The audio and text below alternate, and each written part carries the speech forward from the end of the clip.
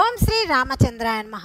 శ్రీమద్ వాల్మీకి రామాయణంలోని యుద్ధకాండమునందు మొదటి సర్గము మనం తెలుసుకుంటాము. ఈ మొదటి సర్గము యొక్క తాత్పర్యం మనం పారాయణం చేసుకుందాం. ఇందులో హనుమంతునకు శ్రీరాముని ఆలింగన భాగ్యము దొరకటము మనం తెలుసుకుంటాము.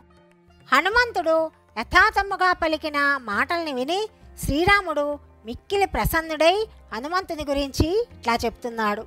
హనుమంతుడు చేసిన ఘనకార్యము లోకములోనే అత్యంత అద్భుతమైనది. అదేంటంటే సీతాన్వేషణలో భాగముగా సముద్రాన్ని లంఘించటము తర్వాత దుర్భేద్యమైన లంకలో ప్రవేశించటము దానిని ధ్వంసం చేయటము కార్యసాఫల్యంతో క్షేమంగా తిరిగి రావటము. ఇవన్నీ కూడా లోకంలోనే అత్యంత అద్భుతమైనవి. ఊహకు కూడా అందనివి అనితర సాధ్యమైనవి. గరుత్మంతుడు వాయుదేవుడు హనుమంతుడు ఈ ముగ్గురు తప్ప ఇంకెవ్వరు కూడా ఈ మహాసముద్రాన్ని లంఘింపలేరు. లంకా నగరము రావణుని కట్టడిలో సురక్షితంగా ఉన్నది.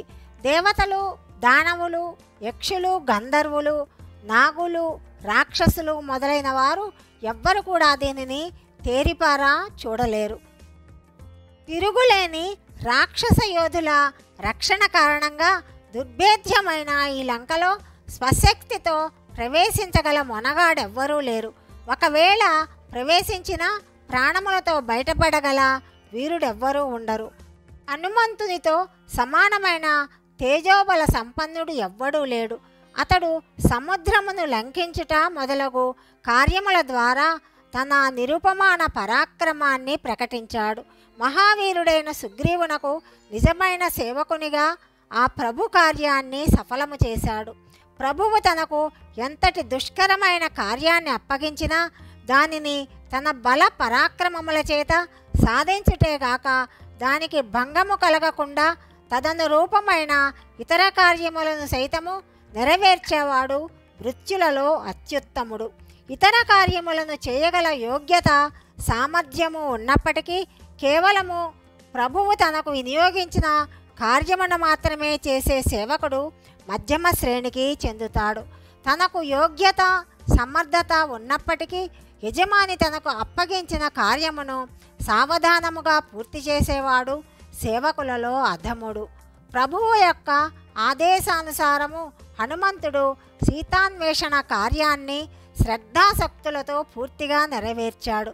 అంతేకాక తన గౌరవానికి భంగము రాకుండా రాక్షస సంహారము మొదలైన ఇతర కార్యములను కూడా సాధించి వానర రాజైన సుగ్రీవుని సంతుష్టుని చేశాడు.